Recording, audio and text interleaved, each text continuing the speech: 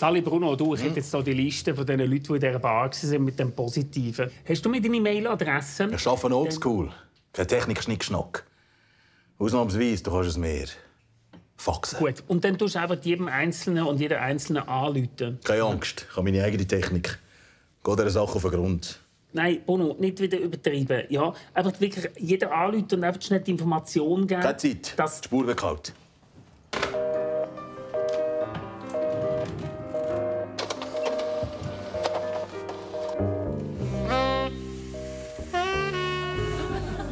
Ein bizarrer Fall. Eine gesunde Frau wird einfach so krank. Irgendjemand hat hier böse Absichten. Nur wer? Sie ist offen. Und da stand sie. Ein Gesicht wie von Michelangelo in Stein gemeißelt. Beine länger. Wie bitte? Also, sorry, ich verwechsel manchmal meine laut und leisige Stimme. Okay. Entschuldigung. Und wieso muss ich jetzt hierher kommen? Ich habe gemeint, ich müsse in Isolation bleiben. Keine Sorge. Bei mir bist du in Sicherheit. Und was brauchen Sie jetzt von mir? Ich brauche Namen. Mitarbeiter, Freunde, Liebhaber. Ich habe gemeint, für das gibt es eine App. Ich traue keiner Technik. Meine Worte. Da ist Ihre Liste. Aber Sie werden nichts darauf finden. Ich bin sehr vorsichtig. Jetzt gehe ich lieber heim.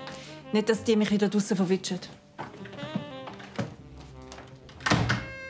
Irgendwer hatte der Dame einen ordentlichen Schrecken eingejagt. Aber wer? Zeit für die Straße.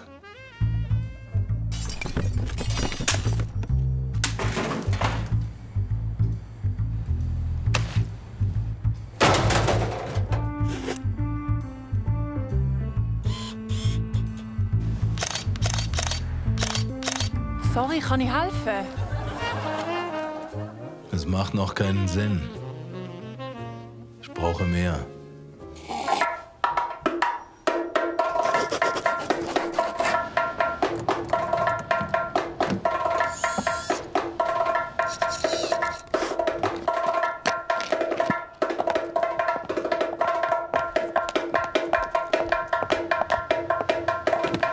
Was mir nachher?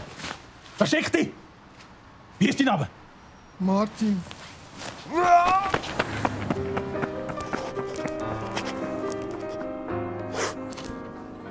Niemand will reden. Wie zum Teufel kann sich diese äußerst vorsichtige Frau angesteckt haben? Es sei denn, sie lügt. Ich traue keiner Technik. Meine Worte. Ich bin extrem vorsichtig. Vorsicht, Vorsicht, Vorsicht, Vorsicht.